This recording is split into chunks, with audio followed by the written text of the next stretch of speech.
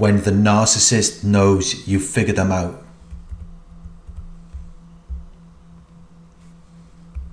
When they know that you've figured out what they are trying to do. When they know that you've figured out their lies and manipulations. When the narcissist is hurting you. When the narcissist is blaming you and playing the victim. When they are lying to you it makes you want to find evidence that they are lying to you. It makes you want to prove them wrong. It makes you chase after their validation. You're running on this hamster wheel, just trying to get them to understand, just trying to get them to see things in the way that you do.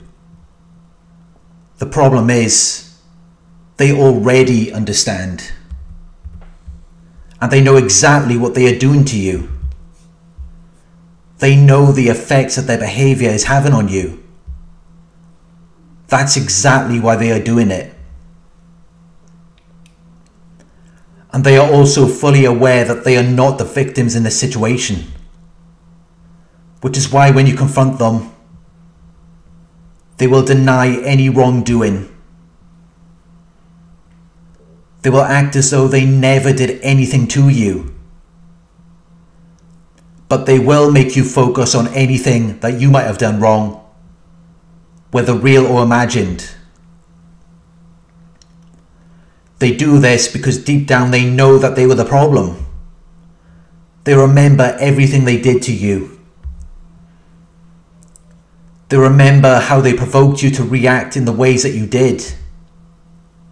They are very manipulative people. And they will say anything to get a reaction out of you.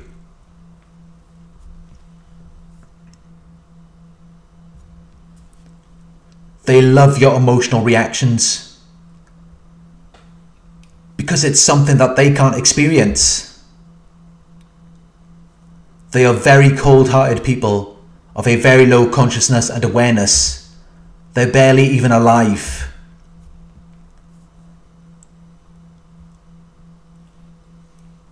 So they provoke you to react to them. Because your reactions make them feel alive. And that is why they withhold information.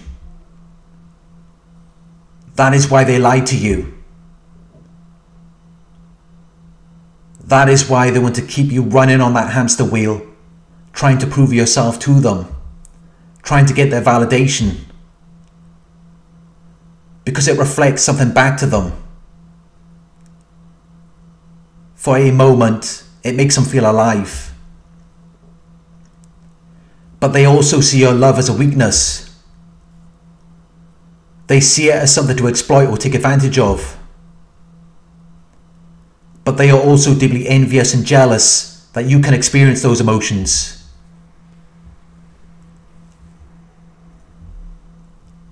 Narcissists don't know how to love. As you can tell by how they have treated you, they lack affective empathy. They cannot feel what you are feeling. They are numb to any real emotions. They only feel for themselves. But they do have cognitive empathy, which helps them to put themselves in your place. That's what gives them narcissistic supply when they know that they are hurting you.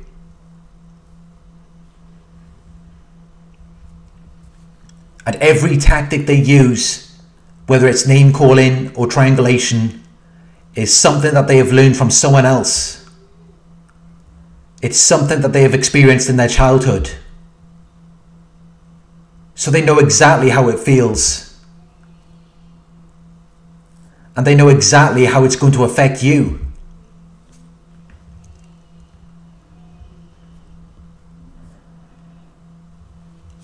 But everything they do, all of these horrible things they've done to you, it is all the effect of a lack of love. The narcissist does not feel loved. Because as I said earlier, they are numb to any real emotions. They cannot feel your love for them. They have been so hurt and damaged by past abusive experiences in their childhood that they have become disordered. And the disorder has been programmed to block and deny love. You may even find that the more you try to love them, the more they hate you. Because it just reminds them that it's something that they don't, they don't get to experience. For them to experience love, they would have to choose love over their false self. And that's just something a narcissist is never going to do.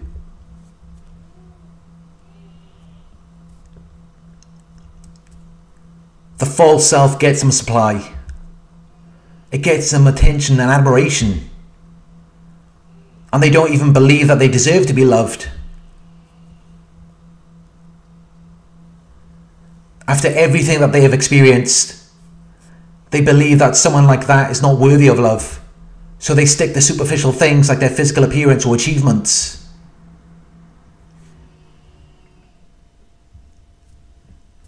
Even though these are only components of their false self and have nothing to do with who they actually are. They don't want anything to do with themselves. And they don't want anything to do with anyone who wants something to do with who they really are. So once you've managed to get inside the psyche of the narcissist, once you've, under, once, once you've managed to understand what makes them tick and why they are the way that they are, once you've seen them in their worst moments, they're not going to want anything to do with you after that. Because now you've figured them out. Now you know what they're really about. The narcissist wants to be around people who don't know what they're really about. People who just validate their false self.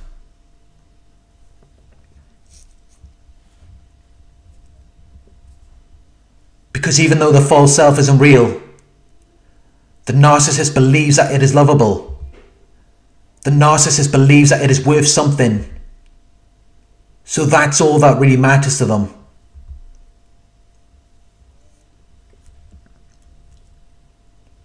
And while it's easy for someone to say this, you can even observe it for yourself. Ask the narcissist about who they were when they were younger. More often than not, they will not talk about their younger self in a positive way. They will not approve of the person that they used to be. Because that was their true self. They abandoned who they really are to create the person that you see today.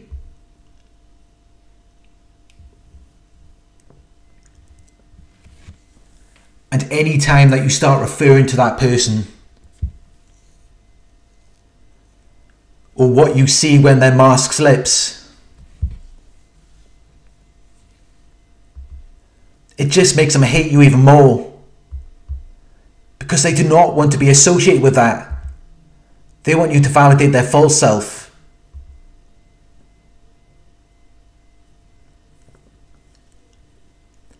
But the problem is, once you've seen who they really are, you can no longer validate their false self.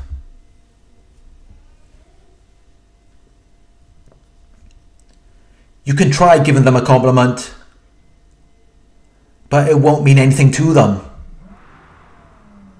Because they know that you know who they really are. They know that you figured them out.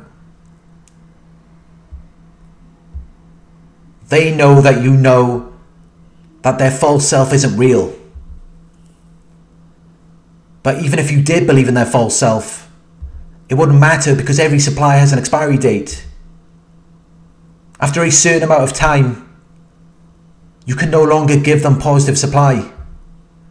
You can no longer make them feel good about themselves by admir admiring them or giving them compliments. And that is why it is inevitable that every relationship with a narcissist will always move to the devaluation phase where they devalue and degrade you. They make you feel like you ain't shit.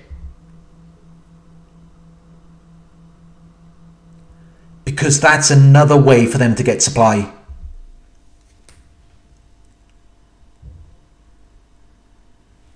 And once your compliments have lost their potency, that's the only thing that's going to make them feel alive.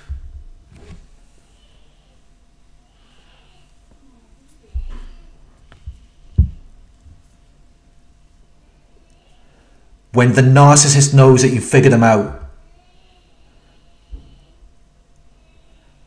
when they know that you figured out their lies, You figured out their manipulations. The only reason why anyone would try to figure this out is because they're hoping that it's going to solve something. But the narcissist is a puzzle that can never be solved. It's like someone gave you a puzzle with the pieces missing. You can't do anything with that. And the more you try to figure things out, it's not going to change anything. It's not going to make them happy. It's not going to make them realize that you're a good person who is just trying to help them. They are never going to come to that conclusion. If anything, they are just going to see it as though you are trying to manipulate them. The more you try to figure them out, you're only going to make them more angry. You're only going to make them distance themselves even more from you. Once you figure a narcissist out, that is what triggers the discard. That is what makes them want nothing to do with you.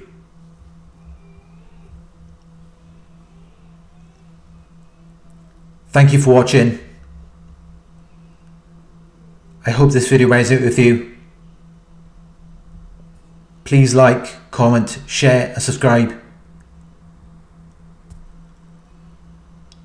Click the bell icon to receive notifications for my future videos. If you would like to donate, my PayPal link is in the video description. Coaching inquiries, you can email me at narcsurvivorcoaching at gmail.com. Thank you for watching and I'll talk to you soon.